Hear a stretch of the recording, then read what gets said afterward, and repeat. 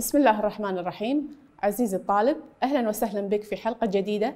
نستعرض من خلالها الدرس الثالث من كتاب مادة الاجتماعيات للصف السابع بعنوان ملامح السطح في الوطن العربي لذا نطلب منك الحرص على المتابعة للاستفادة من درس اليوم. تابع معي عزيزي الطالب شكل رقم سبعة مظاهر السطح في صفحة 37 من خلال الخريطة التي أمامك تلاحظ أربع مظاهر للسطح. هي الجبال، السهول، التلال والوديان. نتعرف الآن من خلال نشاط رقم واحد في صفحة 37 الفرق والتمييز بين ملامح السطح. الجبال تعرف بما بأنها كل ما ارتفع عن الأرض وله قمة لا يقل ارتفاعها عن ألف متر أما إذا قل ارتفاعها عن ذلك يسمى تلا الهضاب أرض مرتفعة سطحها مستوي وتمتد على مساحة كبيرة. السهول مساحة كبيرة من سطح الأرض تتميز باستوائها وقلة ارتفاعها ومفردها سهل. الوديان منخفض طبيعي على سطح الأرض. دعنا نتكلم بشكل تفصيلي أكثر عن الجبال في الوطن العربي. من خلال صفحة 37 تتوفر لديك خريطة رقم 8 لاحظ من خلالها الجبال في الجناح الآسيوي والجناح الأفريقي في الوطن العربي. أولا الجناح الآسيوي. لدينا جبل شيخ أدار في العراق جبل قاسيون في سوريا جبال الحجاز وجبال عسير في السعودية الجبل الأخضر في عمان وجبل الشيخ في لبنان. أما الجناح الأفريقي يوجد جبال مرة في السودان جبال البحر الأحمر وهي سلسلة جبلية كبيرة تمتد ما بين مصر والسودان. الجبل الأخضر في ليبيا جبال الأحجار في الجزائر وجبال أطلس وهي أيضا سلسلة جبلية كبيرة تمتد ما بين الجزائر والمغرب. نتكلم الآن عن الهضاب في الوطن العربي في صفحة 40 تعد الهضاب أكثر الأشكال التضاريسية انتشارا في الوطن العربي. إذ تشغل مساحات واسعة تمتد من أقصى الشرق إلى أقصى الغرب فهي تغطي بذلك معظم أرجاء الوطن العربي. تنقسم الهضاب في الوطن العربي إلى قسمين هضبة شبه الجزيرة العربية وبلاد الشام وهضبة إفريقيا الشمالية وتلقب بالصحراء الكبرى. تعرف معي عزيزي الطالب على أهم الهضاب التي تقع في الوطن العربي في الجناح الآسيوي والأفريقي من خلال الخريطة شكل رقم 9 في صفحة 40 أولا الجناح الآسيوي. هضبة بادية الشام في الأردن. هضبة نجد وهي هضبة كبيرة جدا تقع في السعودية.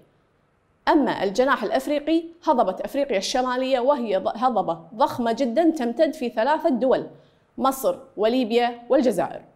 وأخيرا هضبة الشطوط وهي أيضا هضبة كبيرة تمتد في تونس والجزائر. أما السهول في الوطن العربي فتتنوع السهول وتتوزع على مختلف أنحاء الوطن العربي ويمكن أن نميز بين نوعين رئيسيين من السهول. هما السهول الفيضية أي النهرية والسهول الساحلية أي التي تطل على البحار والمحيطات. السهول الفيضية هي أراضي منخفضة التي تكونت من التربة والتي حملتها مياه الأنهار الأنهار. أما السهول الساحلية هي الأراضي المنبسطة التي تجاور سواحل البحار والمحيطات. عزيزي الطالب من خلال شكل رقم 10 في صفحة 42 تعرف على السهول المتواجدة في الوطن العربي حيث أن السهول الساحلية يمثلها اللون الأخضر وهي تطل على البحار والمحيطات. أما السهول النهرية الفيضية يمثلها الخطوط الزرقاء على الخريطة وهي آه، على النهار على الأنهار. عزيزي الطالب من خلال نشاط رقم واحد صفحة 43 تعرف على اسم ونوع السهول التي تقع في الوطن العربي في الجناح الآسيوي والأفريقي.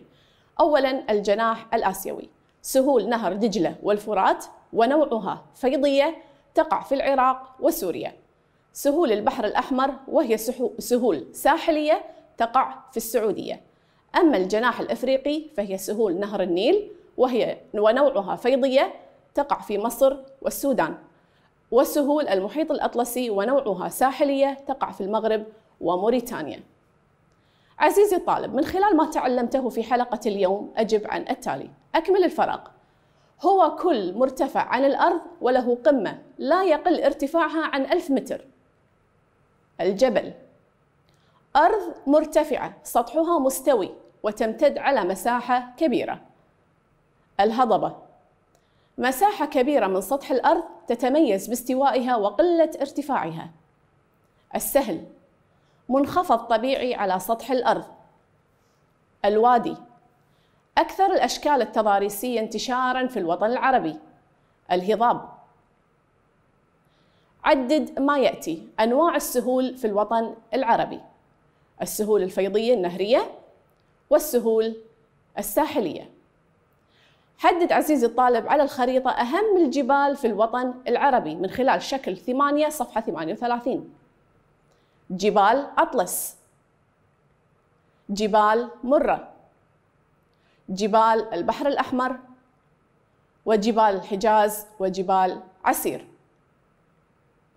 حدد على الخريطة أهم الهضاب في الوطن العربي شكل تسعة صفحة 40 هضبة الصحراء الكبرى. هضبة نجد. هضبة بادية الشام. هضبة الشطوط. عزيزي الطالب وصلنا إلى ختام حلقتنا لهذا اليوم. تمنياتي لك بالاستفادة وعلى أمل اللقاء بكم في الحلقة القادمة.